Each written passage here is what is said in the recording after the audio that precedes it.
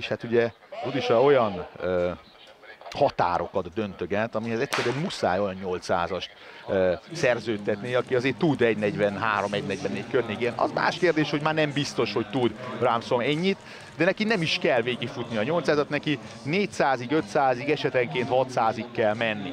Hát meglátjuk majd. E, ugye itt azért nem érdemes arról beszélni, hogy mit, mit terveznek, mert Branson és Nair Rudisa a melegítés kezdetekor, ami olyan jó egy-másfél óra, tehát akkor rakja össze azt, hogy milyen iramot fognak majd futni, és milyen iramot kell majd Bransonnak diktálni. Úgyhogy meglátjuk, hogy ez a 800 méter, ez ez milyen lesz majd, ez a 400 méter milyen lesz majd, és onnantól kezdve lehet azt látni, elmondani, hogy mit akar futni Dávid Rudisa. Azért van egy olyan 15-20 méter most Bramson és Rudisa, illetve a mezőny között, 51 másodperces kör, 50,90 egészen pontosan, és hát erre azért lehet ráfutni. Nem lett volna rossz, hogyha ez 50-en belül van, de Rudisa nagyon-nagyon gyors a végén, és ez egy egészen elképesztő 300-at tud ő futni.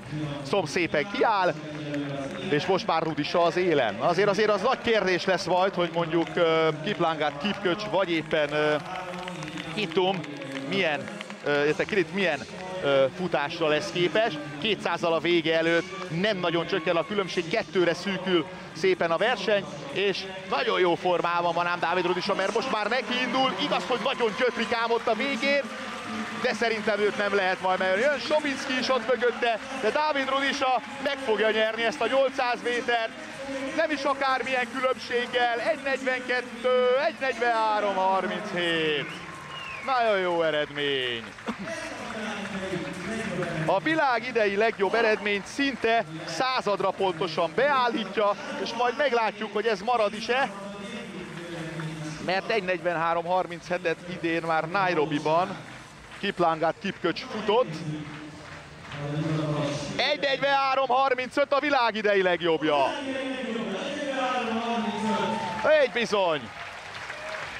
Versenycsúcs is egyben, idei legjobbja. És hát hogy záruljon egy ilyen egynapos viadal, ha nem versenycsúccsal. Halomra dőltek egyébként ezek az eredmények. 1.43.37, óriási eredmény.